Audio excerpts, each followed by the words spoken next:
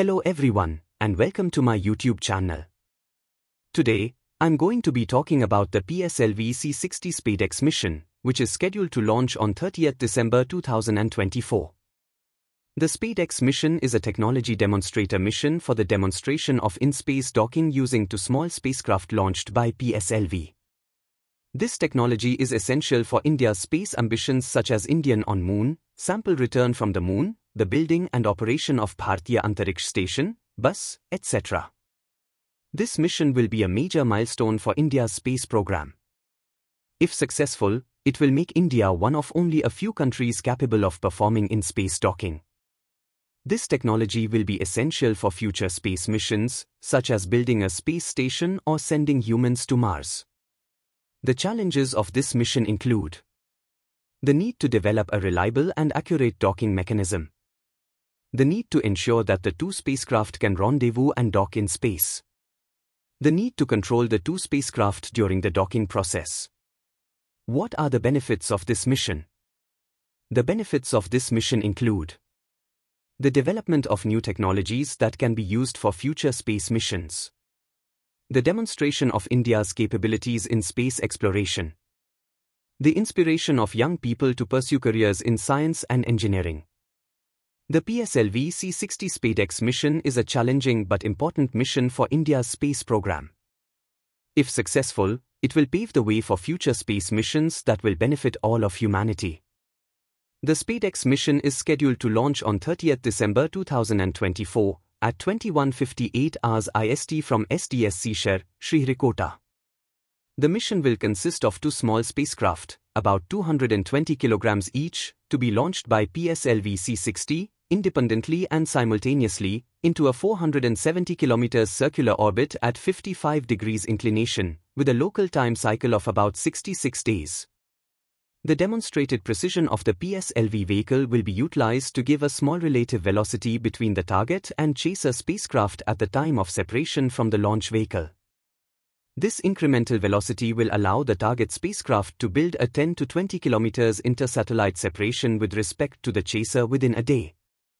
PS4 Orbital Experiment Module, designated as POEM, refers to the usage of the spent fourth stage of the Polar Synchronous Launch Vehicle, PSLV. It provides an opportunity for the scientific community to carry out certain in-orbit microgravity experiments for an extended duration of up to three months using the POEM platform, which otherwise would end up as space debris immediately after the mission objective of injecting the primary payloads of the mission.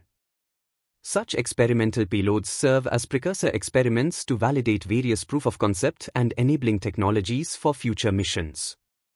PSLV C-60 SpadeX mission is the fourth POEM mission, in short POEM 4, in the series. A total of 24 payloads will be flown in this POEM 4 mission, of which 14 payloads are from ISRO DOS centers and 10 payloads are from various non-government entities, NGEs, comprising academia and startups that have been received through IN-SPACe. This is a significant threefold increase in the capacity of POEM as compared with the previous POEM 3 platform, wherein it had hosted only 8 payloads. The following are the highlights of the 24 POEM4 payloads.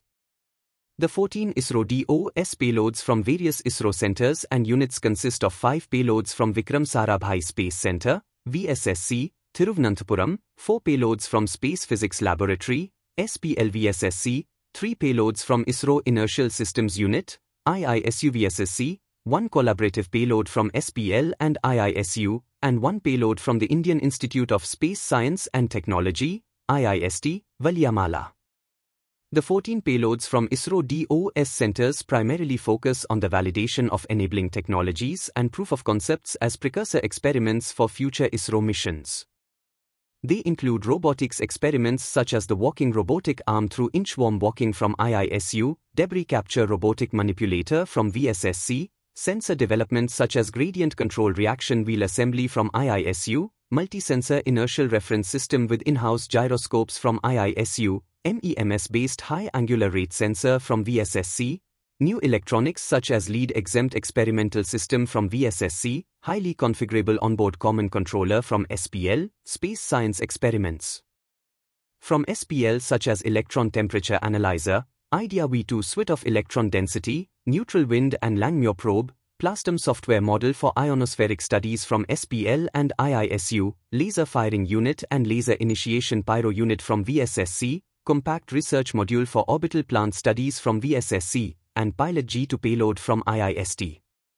The 10 payloads from NGEs consist of the study of various spectra of science and engineering, such as growth of plant callus in space from Amity University, Mumbai, green monopropellant-based propulsion system thrusters from Bellatrix Aerospace, Bengaluru, another green propulsion, hydrogen peroxide, based 1.1 N thruster from MS Manastu Space Technologies PVT Limited, Mumbai, generation, capture, and processing of synthetic aperture radar, SAR, images from GalaxEye Space Solutions PVT Limited, Bengaluru, MEMS-based inertial measurement unit, IMU, sensors and ARM-based microcontrollers for attitude measurement from MIT WPU, Pune, demonstration of operational capability of the onboard UHF transmitter by establishing a reliable communication link with the ISRO ground station from Space Tech, Andhra Pradesh, in-orbit demonstration of SAR in a CubeSat form factor from PierSight Space, Ahmedabad, measurement of growth kinetics of a gut bacterium in space from RV College of